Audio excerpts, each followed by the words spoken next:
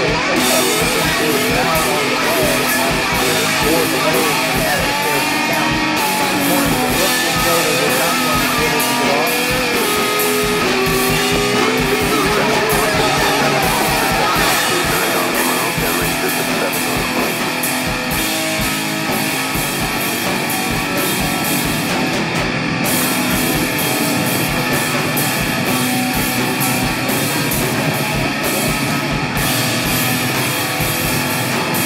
looks like a couple of the uh, solid rocket boosters uh, blew away from the side of the shuttle in an explosion.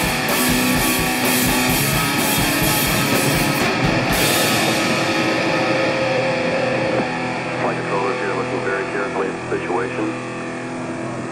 Obviously a major malfunction.